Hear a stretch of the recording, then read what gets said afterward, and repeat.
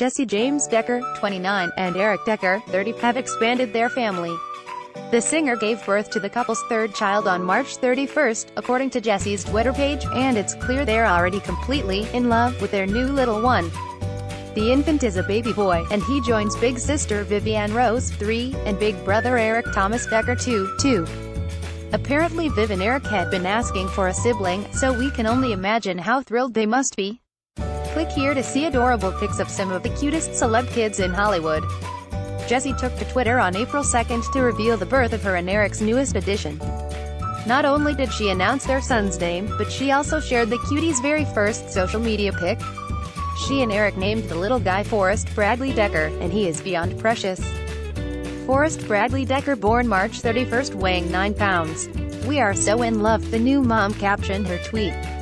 In the photo, Jessie can be seen laying in a hospital bed with baby Forrest resting on her chest, his eyes closed. Talk about a special moment. Jessie revealed she was expecting again back in October with an adorable video of her and Eric telling their happy news to Vivienne and Eric Jr.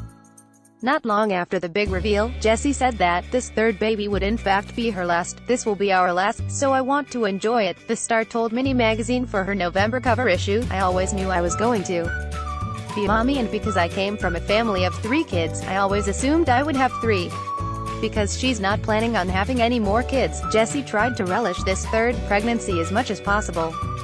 And even before the infant was born, the new mom was looking forward to the new baby smell and breastfeeding.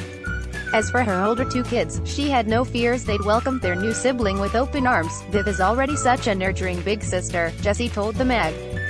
I've also seen Bubby with little babies and he gets very excited and I have to tell him to be gentle because he wants to hug them too much. Ah, congrats again, Jessie and Eric. Tell us, Hollywood lifers, are you excited for Jessie and Eric? Congratulate the happy couple.